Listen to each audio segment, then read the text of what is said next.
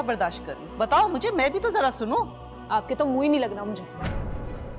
हाँ। देख रहे हो किस तरह बात करी है? कर जाओ क्यों चुप कर जाऊँ? बड़े हैं वो। बड़े हैं तो मैं क्या करूँ? छोटों का लिहाज है उन्हें। अगर अगर नुकसान हो गया तुम्हारे पैसे टूट गए तो फिर?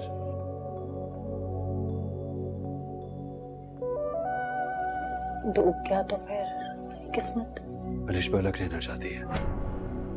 उसने मुझसे साफ़ साफ़ कह दिया है कि वो सबके साथ नहीं रह सकती।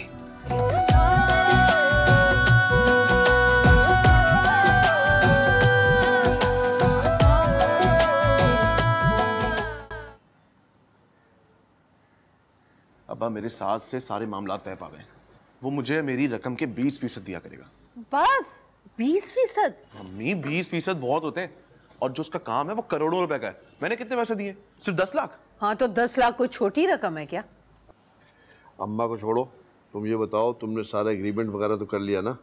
कौन सा एग्रीमेंट यार तुमने रकम लगाई है तो कागज़ी कार्रवाई पूरी की कि नहीं? हाँ वो मसला नहीं है वो हो जाएगा। है? मसला नहीं हो जाएगा क्या मतलब? देखो हमारे मज़हब में भी ये है कि जब पैसे का लेन देन करो तो उसको लिख लिया करो। हाँ। ए अब्बा बचपन का दोस्त है मेरा साथ। अभी मैं क्या उससे एग्रीमेंट करूँ?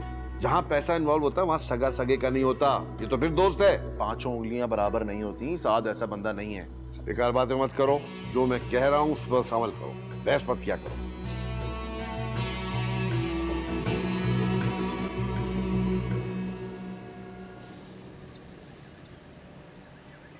क्या हुआ? अपार्टमेंट समझ में नहीं आया आपको? ठीक है अपार्टमेंट। लेकिन तुमने उसका रेंट देखा है? एक लाख रुपए कहाँ से लूँगा इतने पैसे में? तो एक लाख इतनी बड़ी रकम तो नहीं है। कैसी बातें कर रही हो? तुम्हारी नज़र में एक लाख की कोई अहमियत ही नहीं है। तो अच्छी खासी तनख्वाह है आपकी आप एक लाख तो दे ही सकते हैं। तुम ना कभी कभार बिल्कुल अकल से पैदल हो जाती हो। ये हर महीने एक लाख दे के ना हम बिल्कुल हैंड टू माउथ हो जाएँगे। मुझे उसी अपार्टमेंट में रहना है। अलिशबा मैं इतना महँगा अपार्टमेंट अफोर्ड नहीं कर सकता। और वैसे भी हम लोग सिर्फ़ दो लोग हैं। इतने बड़े अपार्टमेंट की ज़रूरत ही क्या है? अच्छा तो आप क्या चाहते हैं कि एक कमरे वाले किसी छोटे से अपार्टमेंट में शिफ्ट हो जाएँ? मैंने ये भी नहीं कहा लेकिन अपार्टमेंट का साइज़ देखा है? खाली उसको सेट करते करते पता नहीं कितने पैसे लग जाएँगे। फिर अभी छह महीने का एडवांस भी देना है। How would we do it तो आप अपने अबू से हिस्सा मांग क्या? हाँ तो और क्या? इतने बड़े घर से ऐसे ही हो जाएँगे।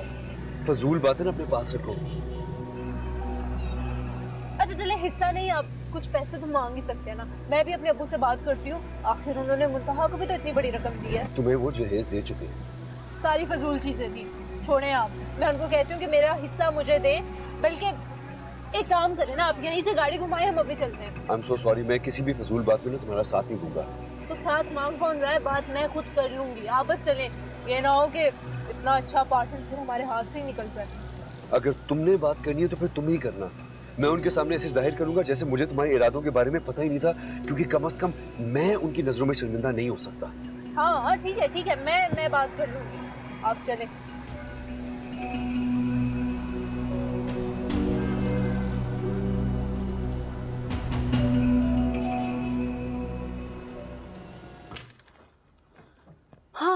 तो क्या पहनेंगे अयान आप कल सुबह? ये वाली शर्ट नहीं कर दो कुछ भी निकाल दो क्या फ़र्क पड़ता है? क्यों नहीं कर पड़ता भाई? फैक्ट्री जा रहा हूँ। किसी बड़े ऑफ़िस में मीटिंग करने नहीं। हाँ तो अच्छी बात है ना ऑफ़िस में मीटिंग नहीं भी करने जा रहे तो क्या हुआ? इम्प्रेशन पड़ता है ये वाली कर देती हूँ। क्या खाक अच्छा असर पड़ेगा? मुझे तो लग रहा है कि कल डील ही कैंसिल हो जाएगी। अल्लाह ना करे ऐसे क्यों बोल रहे हैं आप? ज़ाहिर सी बात है वो मेरा दोस्त है। और जब मैं जाके उससे ये कहूँगा कि भाई तू डॉक्यूमेंट्स रेडी करवा ले क्योंकि मेरे वालिद साहब को तुझ पे यकीन नहीं है। कितना बुरा लगेगा। तो यान इसमें हर्जी क्या है? अब यही सही तरीका है। तुम्हें तो ये सही लगेगा। तुम्हारा पैसा जो लगा हुआ है तुम्हारे दिल में भी यही बात आ रही होगी ना कि सात पैसे ना खा जाओ। मेरे दिल में ऐसी कोई बात नहीं आ रही। ऐसी ही बात है मुंतहा बल्कि मैं एक काम करता हूँ। कल सुबह बैंक से पैसे निकालता हूँ अब वो सात को देने के बजाय तुम्हारे हाथ में लाके दे देता हूँ। टेंशन ही खत्म। अयान आपको क्या हो गया? मेरा ये मतलब बिल्कुल भी नहीं है। ऐसा ही है। इसलिए तुम परेशान हो रही हो क्योंकि तुम्हारा पैसा है ना। काम करना ही नहीं चाहिए था। अब आप इस तरह क्यों क्या- क्यों? छोड़ो यार सो जाओ। सही है यार सुबह की सुबह अच्छा। देखेंगे। सो जाओ लाइट बंद करो। क्या हो गया आपको?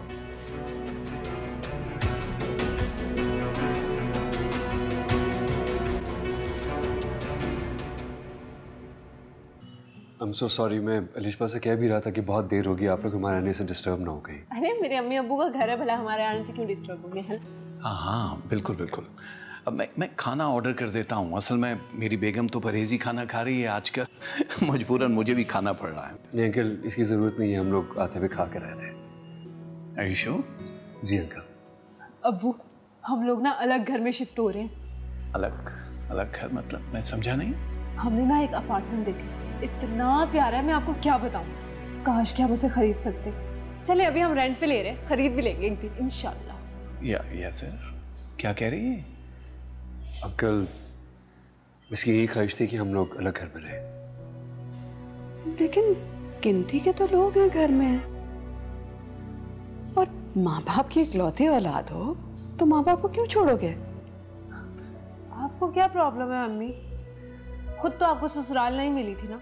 पूरी ज़िंदगी सुकून से आराम से गुजारी आपने। मुझसे पूछे कितना मुश्किल होता है। सुबह शाम तंज लड़ाइयाँ झगड़े इतना मुश्किल होता है ये सब बर्दाश्त कर ये लड़ाई झगड़े ऊँट नीच हर एक घर में होता है इसका ये मतलब नहीं है कि घर छोड़ के चले जाओ। और इस उम्र में माँ बाप को तनहा छोड़ना या से तनहा? तनहा कहाँ है? उस घर में इतने सारे लोग हैं। लेकिन उनका बेटा तो एक ही है ना?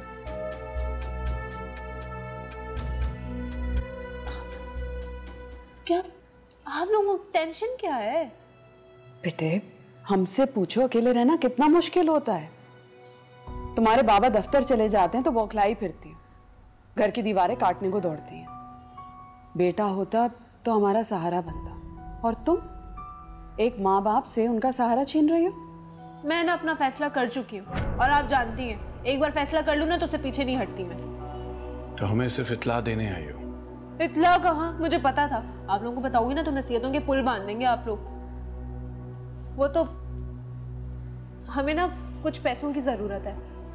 आपने मुद्दा को भी तो इतनी बड़ी रकम दी थी। हाँ ठीक है थोड़ा सा जहेज भी दिया था आप लोगों ने। चले, जितनी मुंतहा को रकम दिया उसकी आधी दे दे। हमने ना अभी एडवांस भी देना है। आप लोगों ने तो सिर्फ़ बेडरूम सेट दिया था। घर के और भी कितने सारे खर्चे होते हैं ना तो इसलिए।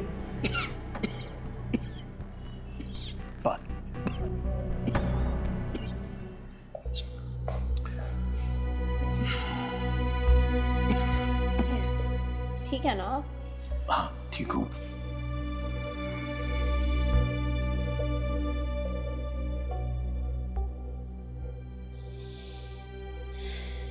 पता नहीं किस पर चली गई है।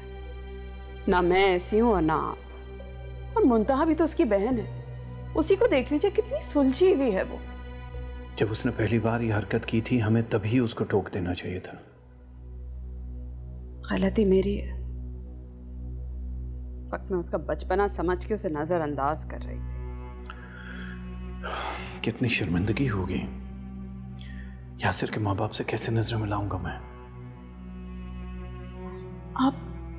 आप उसे बिठाकर समझाइए ना। कोई फ़ायदा नहीं। वो फैसला करके आई थी और यासिर के चेहरे से भी साफ़ लग रहा था कि वो उसके फैसले से खुश नहीं है। जब वो उसे समझा नहीं सका तो मैं क्या समझाऊँगा? वो पैसे पैसे देंगे क्या? हरगिज नहीं। अगर मैंने पैसे दिए तो साफ़ ज़ाहिर होगा कि मैं उसके फैसले में उसके साथ शरीक हूँ। ठीक कर रहे हैं आप। कल आप उसे बुलाकर मना कर दीजिएगा, साफ़ साफ़। आगे अल्लाह बेहतर करेगा।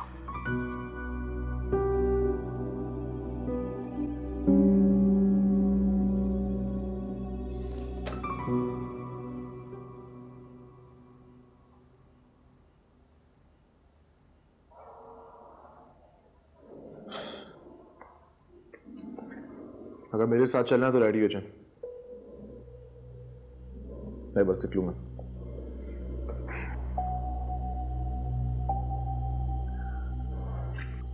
चले मैं मैं तैयार हूँ।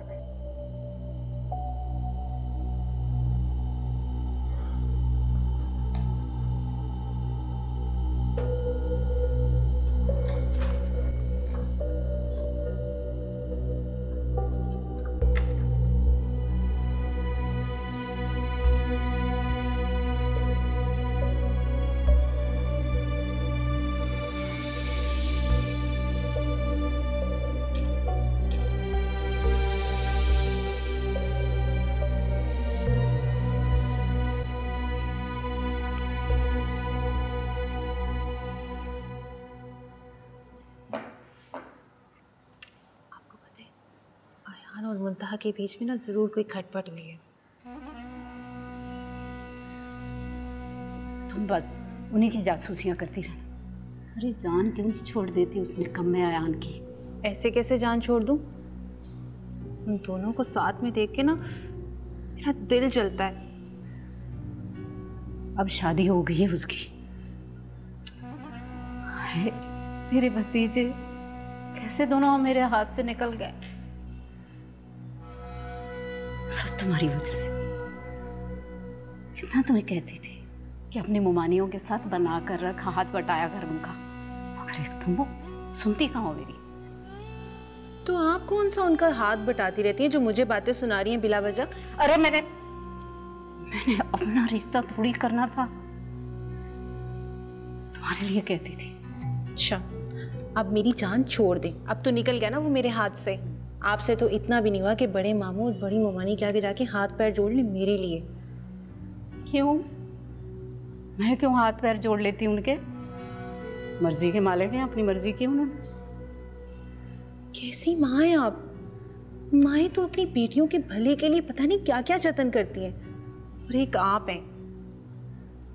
बस अपने ढंग ना बदलना सारे इल्ज़ाम मुझे पे डालना। हाँ तो क्या गलत कह रही हूँ मैं? अच्छा बस कर। ज़्यादा चिक चिक ना कर। जा। जाकर अपनी ममानी का हाथ बटा। मेरे सीने पर मुँह ना डाल। अब क्यों हाथ बटाऊं? क्यों करूँ काम में? आपका भतीजा तो अपनी लाडली बीवी को लेकर जा रहा है ना यहाँ से। अब मैं क्यों अपना सुख चैन बर्बाद करूँ?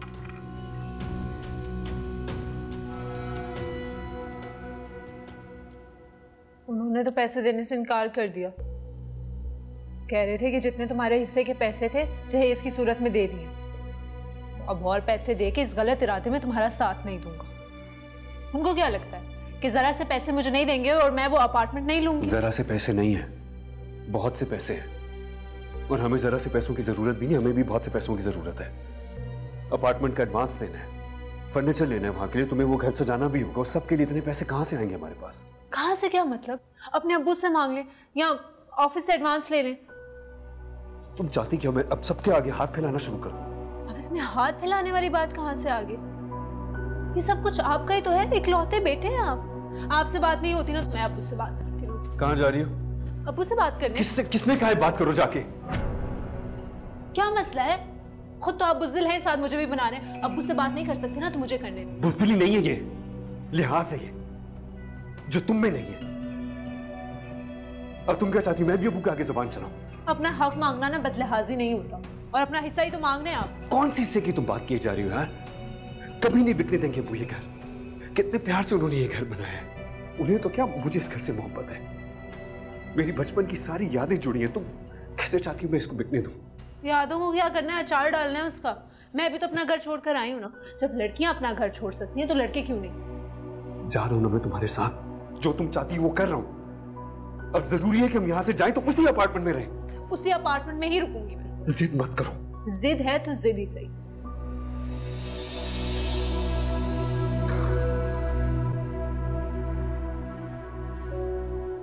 प्लीज़ खुदा के लिए तुम किसी से कोई बात ना करना। मैं मैं कर लूँगा अबू से बात पर प्लीज़ तुम नहीं करना अब्बू से कोई भी बात। क्यों? मेरी ज़ुबान पे कांटे लगे हुए हैं जो आपके अम्मी अबू को चुप जाएँगे। क्योंकि तुम में नरमी नहीं है। ढंग नहीं आता तुम्हें बात करने का। बिल्कुल आपके मुँह से तो फूल झड़ रहे हैं प्लीज़ खुदा के लिए बस कर दो।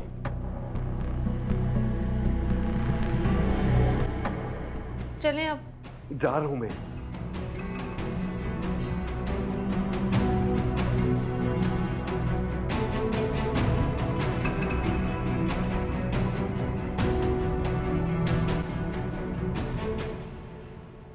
भाईजान आपकी भी तो गलती है ना। आपने उसे क्यों नहीं रोका?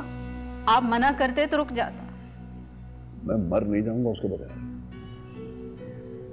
इतनी ताकत दे रखी है अल्लाह ताला ने मुझे। मैं इस घर का सारा खर्चा खुद चला सकता हूँ।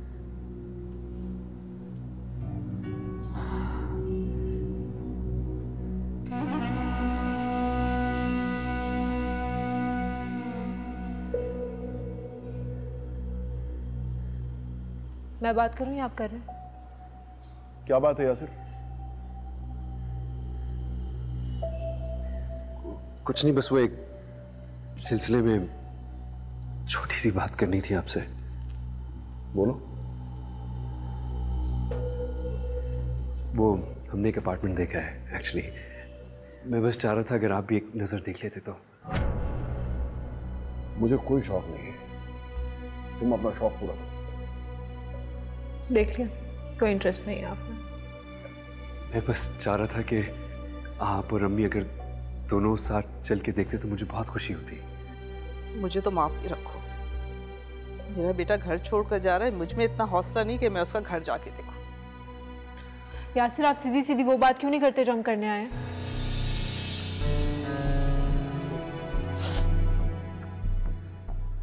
वो कुछ पैसों की ज़रूरत थी। मेरे पास बस इतने ही पैसे जिससे मैं घर का ज़रूरी का सामान ले सकूँ। एडवांस के पैसे नहीं है मेरे पास।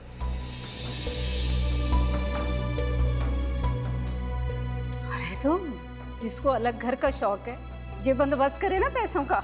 मेरे अम्मी अबू ने ना ऑलरेडी लाखों का जहेज दिया है। अब कुछ ज़िम्मेदारी आप लोगों की भी है। हमने अपने फराइज बखूबी निभाए हैं। पाल पोस के बड़ा किया है इसको पढ़ाया है लिखाया है इस काबिल बनाया है कि आज तुम इसे यहाँ से लेके जा रही हो। अरे इन्हें कहाँ नज़र आती हैं बातें? इन्हें क्या पता कि माँ बाप कितनी मेहनतों से इनकी परवरिश करते हैं। जरा से बड़े होते नहीं कि ऊँची उड़ान उड़ने लगते और नहीं तो क्या? आपने इसे भी अयान की तरह मामूली सी तालीम दिलाई होती ना तो ये भी मुंतहा की तरह जगह जगह नौकरियाँ कर रही होती तो पता चल जाता इसको। आप लोगों को क्या लगता है? कि आप लोग हमें पैसे नहीं देंगे और हम पैसों का इंतज़ाम नहीं कर पाएँगे और यहीं रुक जाएँगे?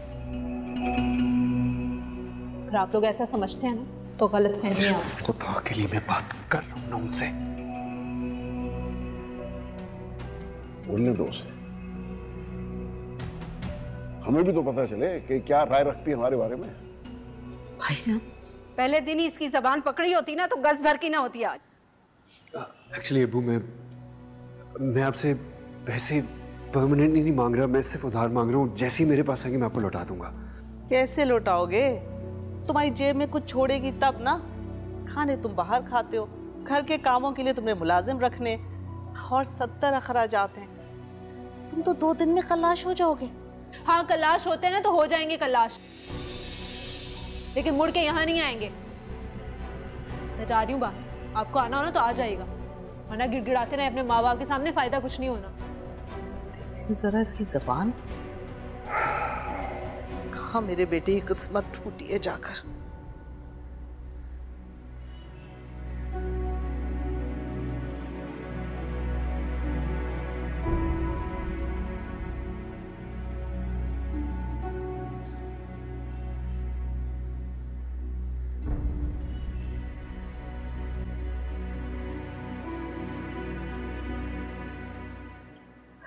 बेचारे मेरे भाईजान किस्मत नालायक औलाद और बहू उससे भी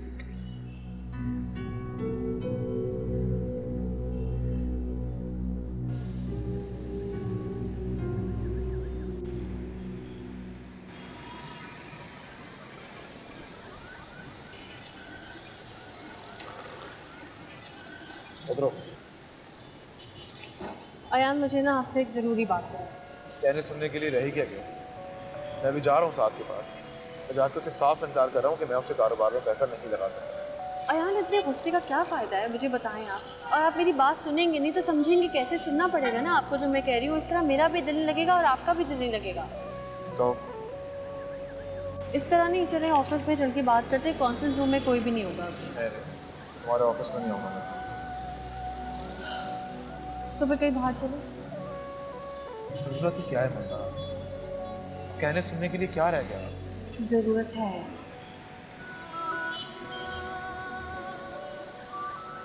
चलो।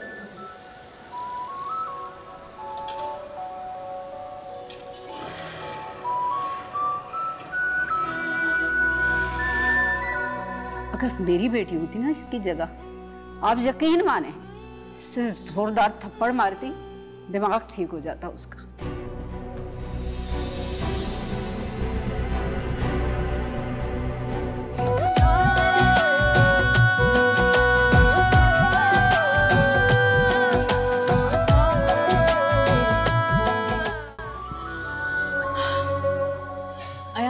अपने दोस्त को इनकार मत करें। अगर वो काबिल एतबार है तो बस बिस्मिल्लाह करें। तुम लोगों को तो ऐसा लगता है कि मैं पैसे बर्बाद ही कर दूँगा। हर वक्त तुम लोग मुझे ताने मारोगे। अल्लाह ना करे कुछ हो गया तो बेइज्जत करोगे मुझे मैं मैं नहीं करूँगा। क्यों होगा ऐसा? ऐसा कुछ भी नहीं होगा यार। और मैं अब्बू से बात करूँगी वो नहीं करेंगे। ऐसा आप फ़िक्र नहीं करें। अब्बा को तो लगता है इस दुनिया का सबसे नालायक तरीन इंसान उनका बेटा ही है। तुम लोग मुझे कुछ समझते ही नहीं हो। मैं बेवकूफ़ थोड़ी हूँ। अगर इन्वेस्टमेंट करो देख के करो ना। अच्छी बात है कि आप कोई नया तजुर्बा नहीं कर रहे ना। कोई रिस्क नहीं ले रहे। पुराने ही किसी बिज़नेस में पैसे लगा रहे तो ये अच्छी बात है यार हम आपके साथ हैं। अब्बा मैं कुछ करना चाहता हूँ यार। तुम्हारे लिए घर वालों के लिए। क्या करूँ? नहीं है मेरे पास एक्सपीरियंस नहीं आता मुझे कोई काम। एक दोस्त है उसके फादर की फैक्ट्री है एक स्टैब्लिश बिज़नेस है। प्रॉफिट मार्जिन ज़्यादा होगा। अब्बा का काम भी ज्वाइन कर सकता था। लेकिन तुम काम तो देखो राशन की दुकान। नहीं यार ऐसे नहीं कहें कोई काम बड़ा छोटा नहीं होता। बस हलाल तरीके से कहें तो अल्लाह ताला हर काम में बरकत डालते हैं। तुम्हारी सोच कितनी पॉजिटिव है? हाँ तो पॉजिटिव सोचूँगी तो पॉजिटिव होगा ना यार। थोड़ी पॉजिटिविटी अपनी बहन में भी डाल दो। वक्त आने पे सीख जाएगी वो भी। बस ठीक है। अब हम इस बात पे कोई बहस नहीं करेंगे आप भी अपना मूड अच्छा करें और बस बिस्मिल्लाह करें। अच्छा सुनिए आप मुझे ऑफ़िस छोड़ दीजिएगा मैं लेट हो रही हूँ आप भी घर जाकर रेस्ट करें। चलो बस ये फिनिश कर लो फिर सही है। सच्ची? हाँ मुझे आते हुए देर भी इसलिए हो गई थी क्योंकि बाबा एडवांस के चेक साइन कर रहे थे। तो हाँ आपने मुझे पहले क्यों नहीं बताया? आप बता रहे हैं। मैं तुम्हारी रिएक्शन देखना चाहता था सोचा कुछ देर बाद बताऊँगा हाँ बिना कमाल ही करते हैं यासिर चलें ये भी ठीक है। पहले हम एडवांस की रकम दे आते हैं फिर हम वापसी पे शॉपिंग करने जाएँगे। हाँ। फिर शॉपिंग शॉपिंग कर करके तुम थक नहीं जाती? अरे यार ये वो वाली शॉपिंग नहीं ये तो मुझे घर का सामान खरीदना है घर के लिए शॉपिंग करनी है। अरिशबा तुम्हें तुम्हें खुद को थोड़ा सा बदलना होगा अपनी अपनी पुरानी रूटीन को भी चेंज करना होगा। आप कोई मौका नहीं आने देते मुझे क्रिटिसाइज करने का। मैं क्रिटिसाइज नहीं कर रहा। लेकिन सबके साथ तो ठीक था। लेकिन जब तुम अलहदा घर में रहोगी तो सारी ज़िम्मेदारी तुम्हारे कंधों पर होगी। खाना पकाने से लेके घर संभालने की सबकी। सब संभालूँगी यासिर मैं सारे काम कर लूँगी। आप बिल्कुल परेशान हो बस खुदा के लिए ये गाड़ी तेज चला ले क्यों मर मर के चला हैं आप? अच्छा एक्सीडेंट करवाना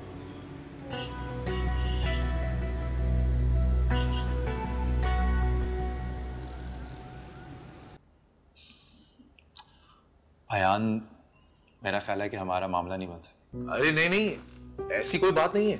तो क्या वो मुझे ऐसा वैसे समझते नहीं यार देख बात समझने की कोशिश कर। रकम बहुत बड़ी है ना और ऊपर से ये पैसे मेरे हैं भी नहीं। मुता के पैसे यार। तो मियाँ बीवी के पैसे क्या अलग अलग होते हैं? अरे नहीं यार मुमता ने कभी मुझसे पैसों की बात ही नहीं की। वो ऐसी बिल्कुल नहीं है बल्कि उसने तो मुझे खुद कहा था।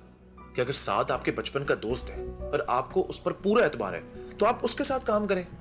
बनस्बत इसके कि मैं अपना काम करूँ और तजर्बा ना होने की वजह से सारे पैसे डुबा दूँ। तो यही तो मैं तुझे कह रहा हूँ ना।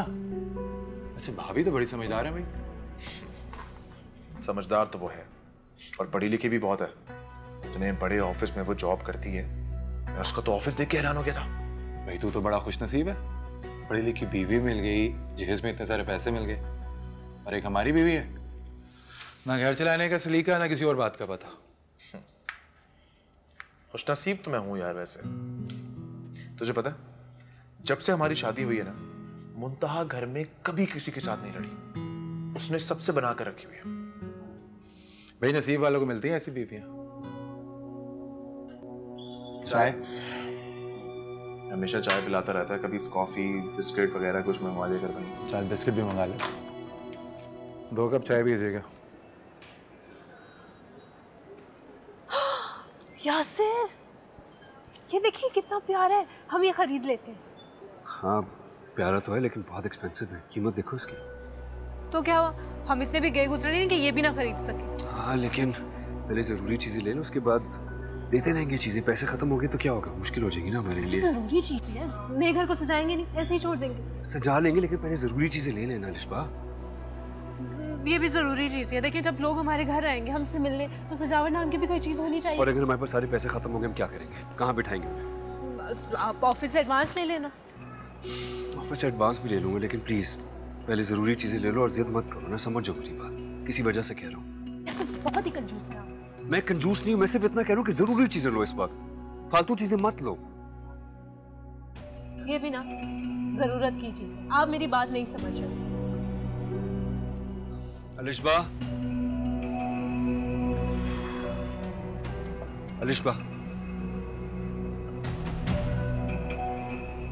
अलिशबा बात तो सुनो मेरी इसमें नाराज़ होने वाली क्या बात है मैं सिर्फ़ आप? अरे आ गई तुम। कब से तुम्हारा वेट कर रहा हूँ। चलो पिक करने आया हूँ तुम्हें। इतनी फ़िक्र मत किया करें मेरी आदत बिगड़ जाएगी। ये तो अच्छी बात है। मैं और ज़्यादा ख्याल रखा करूँगा। देख ले मुकर मत जाइएगा इतनी मुश्किल से तो समझाऊँ। अब वो करने का तो कोई चांस ही नहीं है। सॉरी यार ये बाइक भी ना। हम्म। एक सेकेंड अभी स्टार्ट हो जाएगी। हो गई। सॉरी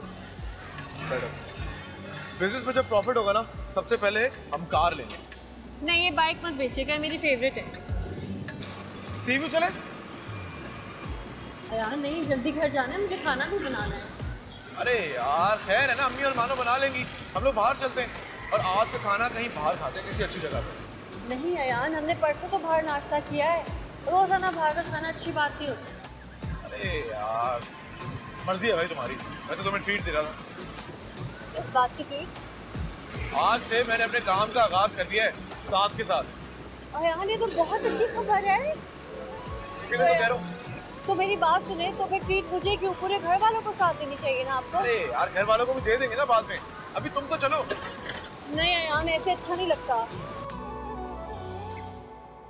एक तो बेवक्त आने के लिए माजरत चाहते हैं। जी हम मेरे पास टाइम ही ये बचता है सरमत भाई। जी इन्होंने तो दफ्तर से आते ही कहा था कि तैयार हो जाओ। अलिशबा के ससुराल जाना है। हम बहुत शर्मिंदा हैं आपसे। समझ नहीं आ रहा क्या कहें। अरे आप क्यों शर्मिंदा होते हैं? आपका इसमें क्या कसूर है? हम तो कभी सोच भी नहीं सकते थे कि अलिशबा आपके बेटे को लेकर अलग हो जाएगी। हमसे पूछे हम किस हाल में? वो हमारा अकलौता बेटा है। इस उम्र में ऐसे सहारे की कितनी ज़रूरत होती है?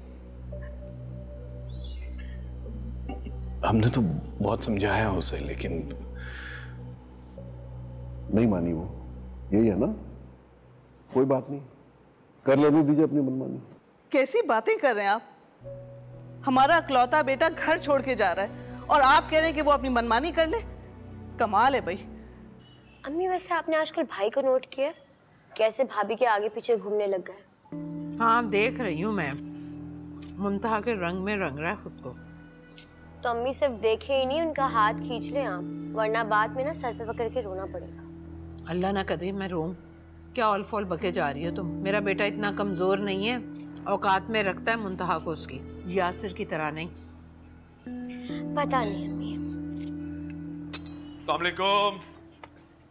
वालेकुम। अस्सलाम। आजकल बहुत देर से आने लगे हो तुम दोनों। कहाँ अम्मी? रोज वाले टाइम पे तो आए क्या बात है भाई? आजकल तो आप भाभी के साथ ही आते हैं भाभी के साथ ही चले जाते हैं। तुम्हें बड़ा बुरा लग रहा है? क्यों? मुझे क्यों बुरा लगेगा? ये तो बहुत अच्छी बात है। छोड़ो यार चुप करो तुम तो। ये क्या है भाई? अम्मी वो मीठा कीजिए। किस खुशी में? आज आपके बेटे के अपने कारोबार का पहला दिन है। साथ की लेदर फैक्ट्री में पैसे इन्वेस्ट किए मैंने। अच्छा। क्या सिर्फ़ अच्छा? हाँ। खुश तो मैं उस दिन होंगी जिस दिन तुम अपनी कमाई लाकर मेरे हाथ में रखोगे। रखूँगा रखूँगा सब रखूँगा थोड़ा सब्र तो अभी इन्वेस्ट किया है प्रॉफिट आने में टाइम लगेगा। तुम तो मीठा कीजिए ना अच्छा अच्छा कर लेती हूँ। तुम तो जाओ ना कपड़े तब्दील करो और किचन में जाओ। भाई खाना बहुत देर से मिलने लगा हम्म उसकी कोई ज़रूरत नहीं है। आज का खाना मेरी तरफ़ से ट्रीट क्या बात है भाई? अभी कमाई शुरू नहीं हुई और उड़ाना शुरू कर दिया तुमने। अरे अम्मी कौन सा लाखों रुपए का खाना आएगा? चलते हैं ना बाहर। अब वैसे भी मैंने साथ से पैसे एडवांस ले लिए तैयार हो जाए चलेंगे। अब मुथा तुम मेरे कपड़े निकाल दो और आप लोग सब रेडी हो जाए ठीक है? चले हुए क्या हैं आप लोग। उठो रेडी हो जाओ। चलो मुन्नी तुम भी रेडी हो जाओ। देखा अम्मी अपने भाई को? कितने प्यार से बोल रहे थे। मुंतहा मेरे कपड़े निकाल दो। ज़ाहिर है भाई बीवी की कमाई से कारोबार शुरू कर रहा ताबेदारी तो करेगा। वैसे अम्मी जो भी हो आज हमें डिनर तो बाहर से मिल रहा है। ना खुश तो होना चाहिए आपको भी। हाँ हाँ खुश हूँ खुश हूँ। चलिए फिर तैयार होते हैं चल के। कौन सा ज़्यादा खाना होता है मुझे?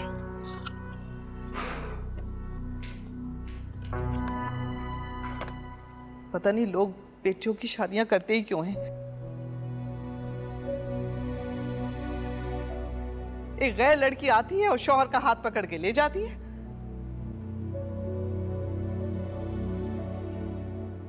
समझ तो मुझे भी नहीं आता।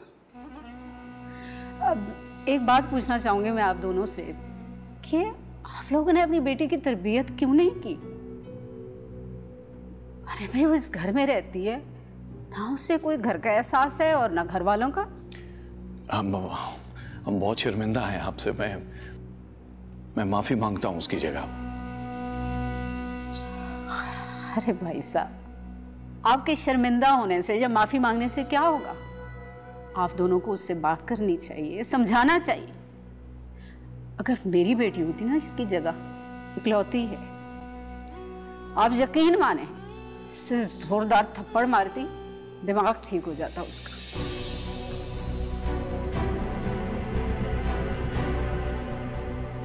अच्छा थप्पड़ मारेंगी। जरा थप्पड़ मार के तो दिखाएँ मेरे मुँह पे, आए ना। खड़ी हो मेरे मुँह पे थप्पड़ मारे जरा। अलिशमा ये कौन सा तरीका है बात करने का? माफ़ी मांगो अभी इनसे। मैं क्यों माफ़ी मांगू? अब्बू आप देख नहीं रहे किस तरह बदतमीजी करी थी मुझसे। इस घर में ना सारा दिन मेरे साथ होता ही ये है। बड़ों से इस तरह बात करते हैं? तो बड़ों को भी चाहिए ना कि छोटों के मुँह ना लगा करें।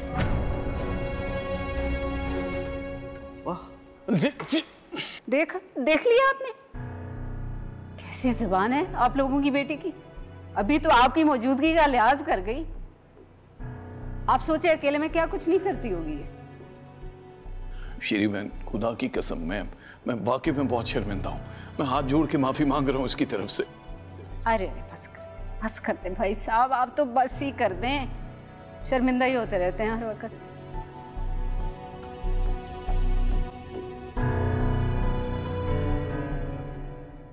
आज तो हद कर दिया तुमने। हम्म। सारी हद मैं ही करती हूँ। आपके घर वाले तो कुछ करते ही तुम छोटी हो लिशबा। हाँ छोड़ तभी तो लिहाज कर लिया करो ना। मैं ही लिहाज करूँ। आपके घर वाले भी कभी लिहाज कर लिया करें। कितना शर्मिंदा है तुम्हारे माँ बाप सबके सामने। फूफो से माफ़ी मांगते फिरे हाँ। तो मैंने कहा था क्या आए खुद आए अपनी मर्ज़ी से आए। आप मुझे बताएँ भला वो आए क्यों? वो तो तुम उनसे पूछना ना खुद बाद में। अभी तो चलो मेरे साथ। नहीं जी मैं नहीं जा रही। तुम कैसी हो लिशबा? ना तुम शौहर की सुनती ना तुम्हें माँ बाप की इज़्ज़त का ख्याल है। हाँ सुनती तो हूँ आपकी बात। कहा सुनती हो तुम? सिर्फ़ अपनी चलाती हो। अच्छा रुके गुस्सा क्यों कर रहे हैं? मैं चल रही हूँ आपके साथ। दूसरों के लिए मुझ पर क्यों गुस्सा कर रहे हैं बताएँ? मान रही हूँ ना आपकी बात। चल।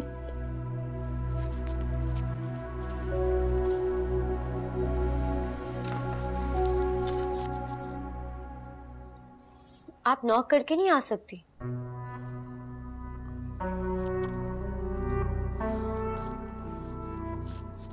हमने बात की उससे। किससे? शहयार की बात कर उसी की बात कर रही हूँ। आप क्यों मिलना चाहती हैं उससे? मैं देखना चाहती हूँ उसे। कि वो कैसा लड़का है तुम बहुत छोटी हो अभी। तुम्हें अकल नहीं है। आप में बड़ी अकल है जैसे। मानो मैं जॉब करती हूँ बाहर। हर किस्म के आदमी को देखती हूँ दिन भर में। तुमसे तो बड़ी हूँ ना। मैं भी कोई बच्ची नहीं हूँ। और वैसे भी शहरियार बहुत अच्छा लड़का है। हाँ तो फिर हर्ष क्या है? मिलवाओ उसको मुझसे। कहाँ मिलेंगे आप? कहीं भी। किसी को अगर पता चल गया ना तो मुसीबत हो जाएगी। कैसे पता चलेगा किसी को? सब अपने अपने कामों में मसरूफ होते हैं। ठीक है मैं आपको मिलवा दूँगी उससे। लेकिन आप उससे कोई गलत बात नहीं करेंगे। मैं क्यों तुम्हारे बारे में उससे कोई गलत बात करूँगी? मैं तुम्हारे लिए उससे मिलना चाहती हूँ। मैं देखना चाहती हूँ कि वो तुम्हें कहीं धोखा तो नहीं दे रहा। एक काम करते हैं मानो। मैं ऑफ़िस से डायरेक्ट वहीं चली जाऊँगी मॉल ले आओ उसे लंच ब्रेक में। ठीक है, मैं उसे बोल दूँगी कि मॉल आ जाए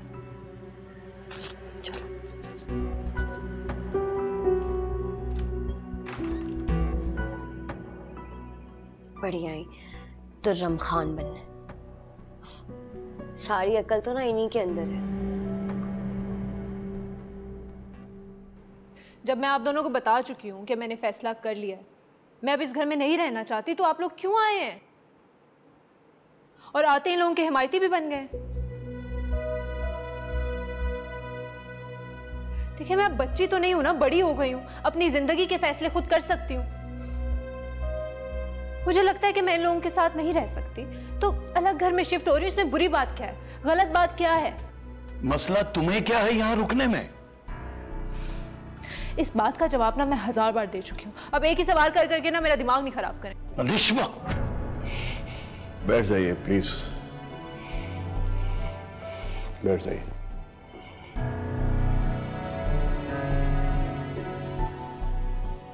मेरे ख्याल में ना खुशी खुशी जाने दीजिए।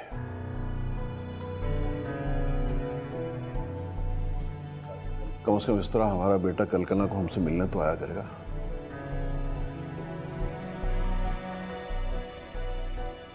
अभी भी सिर्फ़ अपने बेटे से मिलने का अरमान है। बहू की कोई फ़िक्र नहीं है। बहू ने इस काबिल छोड़ा है। आप मेरे अब्बू हैं या इन लोगों के रिश्तेदार हैं? क्योंकि मुझे तो इन लोगों के रिश्तेदार लग रहे हैं आप। रिश्तेदारी तो तुम्हारी वजह से ही थी इनके साथ जो तुमने सब खत्म कर दी हाँ तो ठीक है। जिसको मुझसे मसला है ना वो भले मुझे छोड़ के चला जाए। अलिशबा बाबा है वो तुम्हारी किस तरह बात करी हो तुम? क्यों? तुम कौन होती हो मुझे टोकने वाली? बड़ी बहन हूँ मैं तुम्हारी। कुछ गलत करोगी तो मैं तुम्हें टोकूँगी। तुम ना मेरे मामला में दखल अंदाजी मत किया करो। अपने काम से काम रखा करो जैसे मैं अपने काम से काम रखती हूँ। अरे बेटा छोड़ो ना तुम। ये अपने माँ बाप को खातिर में नहीं ला रही तुम क्या चीज़ हो। सॉरी बाबा जान। तुम क्यों माफ़ी मांग रही हो बेटा? शायद हमारी तरबियत में ही कोई कमी रह गई है।